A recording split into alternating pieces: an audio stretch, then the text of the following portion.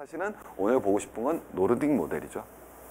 그래서 저 노르딕 모델은 뭐냐면 우리가 다 알다시피 복지국가 모델입니다. 그래서 저 3개국은 우리가 복지국가로 잘 알려져 있는 나라죠. 자, 저 노르딕 모델의 기본적인 특징 가보겠습니다. 첫 번째 3인주의 모델이라고 불리우고요. 자, 첫 번째 높은 조세 부담률. 세금 엄청 많이 내죠, 쟤네들. 자, 그 다음에 두 번째 뭐가 되겠습니까? 굉장히 평등하죠.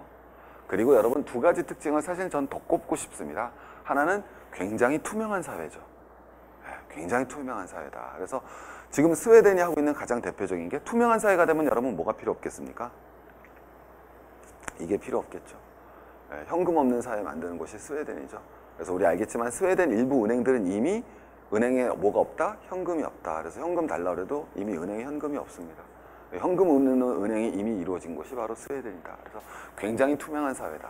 그 다음에 여러분, 이 나라들은 자유무역할까요? 보호무역할까요? 굉장히 재밌네. 그죠? 우리 어떻게 싹생하면은 어 복지국가니까 보호무역할 것 같죠? 아니요. 오늘 제가 여러분이 가진 상식들을 좀 많이 깨뜨려 드리려고 그러는데 당연히 자유무역합니다. 왜 자유무역할 수밖에 없을까요? 네, 국가 규모가 작기 때문에 일국의 내수 기반이 없죠. 그래서 여러분 보호무역을 할 수가 없습니다. 그래서 기본적으로 전부 다 자유무역을 옹호하는 것이 바로 스칸디나비아 삼국이다 이렇게 볼 수 있습니다.